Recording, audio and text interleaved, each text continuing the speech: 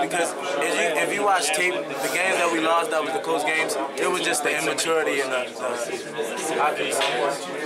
just we was lacking immaturity towards the end of the game. So we watched a lot of film and we practiced on it, and we knew when the game got tight at the end what we had to do. So I talked to you about it last time, I think, and I told you we, we needed some things to work on. And uh, I don't know, man. We just got smarter towards the end. Teams gonna it's about runs. Games about runs. They're gonna make their run. We're gonna make our run. But it's about who wanted more at the end. Who's smarter. One of your coaches said Dre's probably not the guy that he would pick to take that shot in that situation, but isn't that really the story of this team Yeah, this that's- year? I saw him at the same time. We got to get this. You got 13 guys, and all of them at some point have won you game. Yeah, yeah. Everybody, I mean, it's not an iron team. Basketball is about your, your team. We believe in each other. And Tarik is a tough player.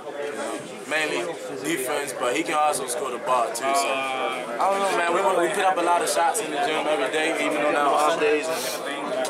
And, I don't know, it's just confidence.